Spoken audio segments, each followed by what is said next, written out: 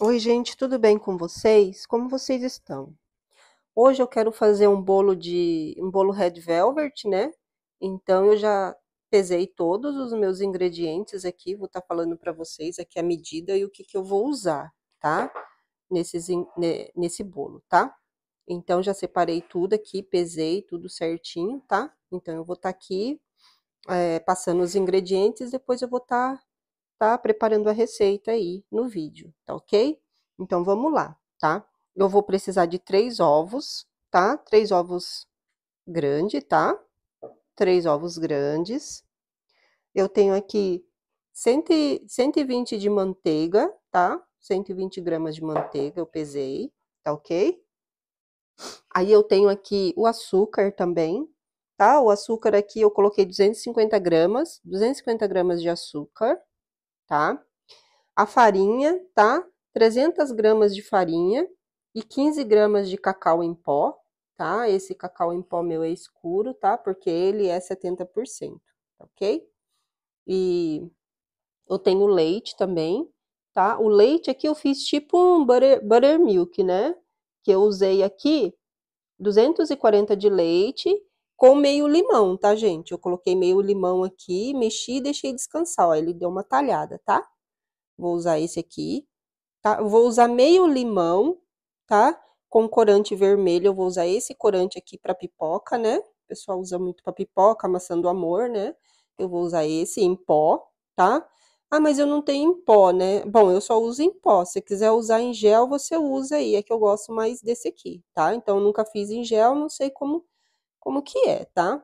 Então, vou precisar de bicarbonato, meia colherzinha de, de chá de bicarbonato, fermento, tá? E essência de baunilha, se você quiser colocar, opcional, tá ok? Então, eu vou, vou bater os ingredientes aqui, vou preparar a massa e vou estar tá mostrando aí para vocês.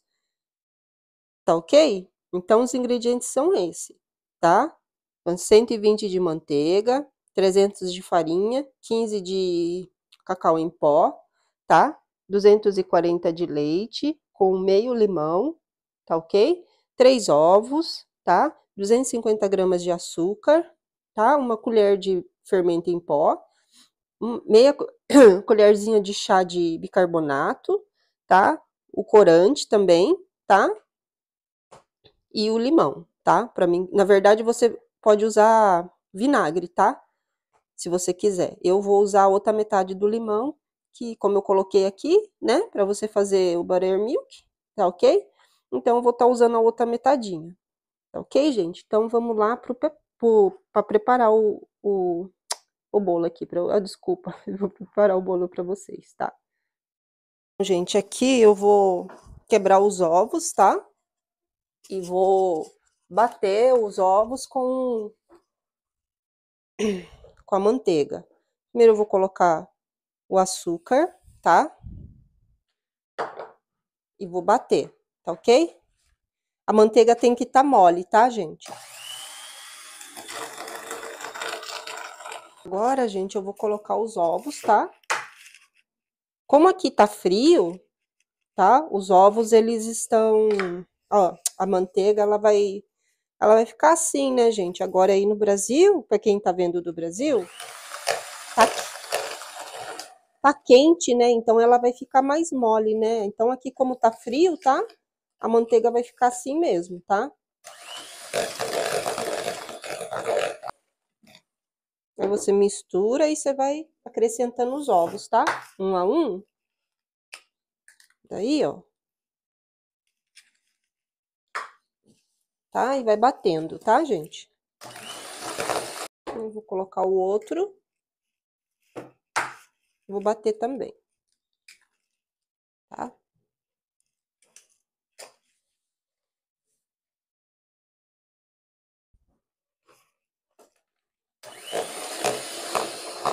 Aí você vai acrescentar um pouco de essência de baunilha, tá?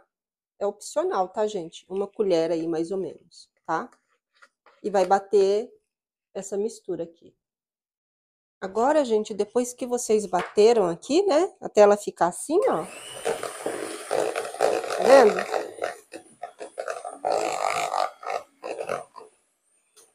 Aí você vai colocando aos poucos, tá? A farinha com, a, com cacau, tá?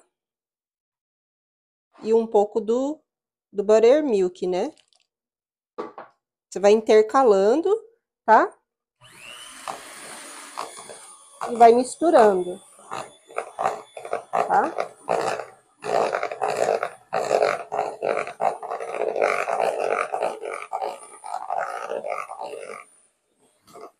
É só até misturar, tá, gente? Não é para bater demais, não, tá? Coloca.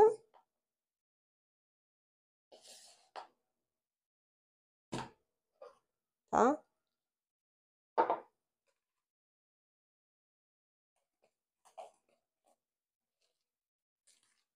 Tô misturando assim porque a farinha fica voando, tá, gente? Ó.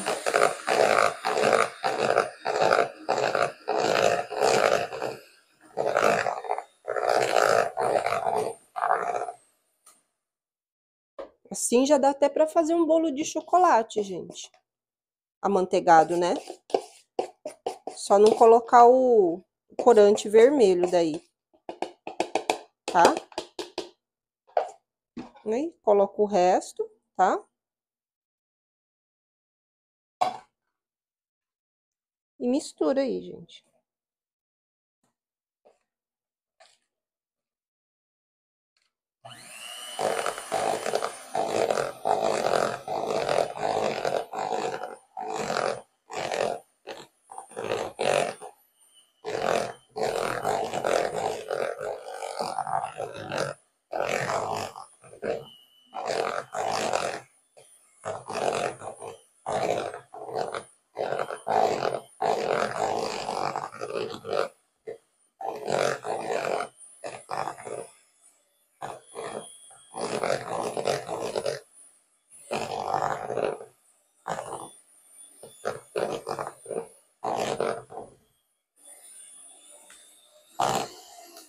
E tá pronto. Aí agora vamos colocar o fermento, tá? Vou pegar a colher ali para mexer. Daí, gente, agora vocês vão colocar uma colher de fermento, tá? Ó, uma colher de fermento, tá? Mistura bem. Até agregar esse fermento aqui, ó, tá vendo? Mistura ela bem aqui, tá? Depois que você misturar ela aqui bem, ó, ela misturou bem já, né? Você vai vir com a com bicarbonato, tá? Meia colherinha de chá aí de bicarbonato. Tá, gente? Mais ou menos assim, ó. Tá vendo? Tá? Ok. E o corante, tá, gente? Você vai pegar o corante aí, vou usar essa colher aqui do... Essa colher do coisa aqui. Vou abrir o corante aqui. Esse corante aqui é duro que ele mancha, né? Onde ele pega. Eu vou colocar o corante aqui, tá? Colocar uma quantidade assim, ó. Tá bom. Tá? E vou espremer o limão aqui, tá, gente? Ó.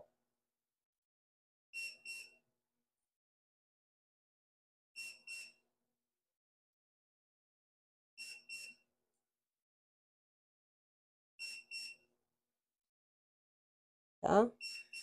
Vou espremer o limão aqui. Minha mão tá limpa, tá, gente?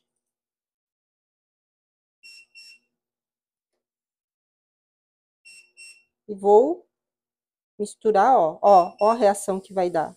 Tá vendo? Tá vendo, gente, ó? Ela vai dar essa reação aí, tá? O chocolate que você vai colocar aqui, ele serve pra, pra dar cor à sua massa, tá?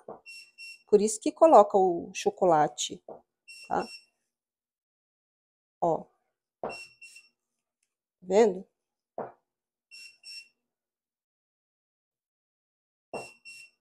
Aí ele vai dar uma reação na massa aí, tá? Na massa não, no, no bicarbonato. Ó.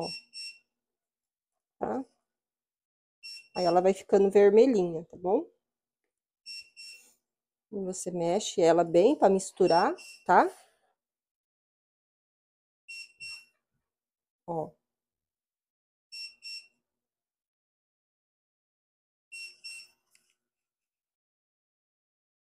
Aí eu vou pegar a forma lá e já venho, tá, gente? Eu vou passar desmoldante aqui nessa forma que eu tenho, tá? Você pode estar tá usando aí a forma que você tiver, tá? Tem problema não. Como eu tenho essa aqui, e eu nunca sei é, esse tipo de bolo aqui, só bolo de cenoura, né? Eu quero testar para ver como é que fica, tá?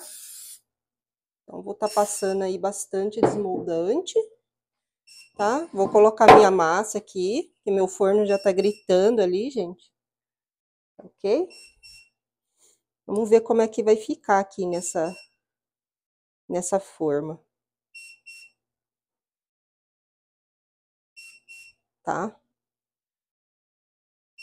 Aí eu vou levar por 180 graus, né?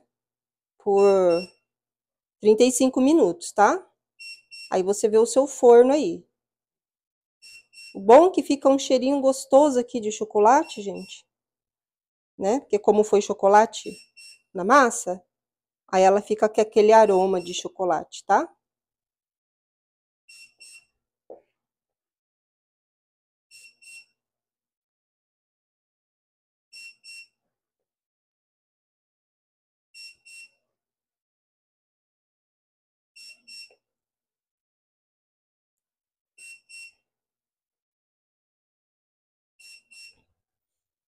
Faz um tempinho que eu não faço essa massa aqui.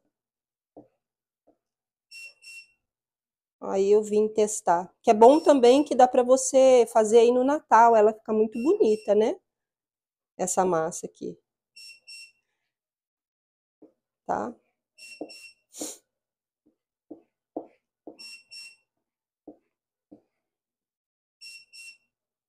Ok?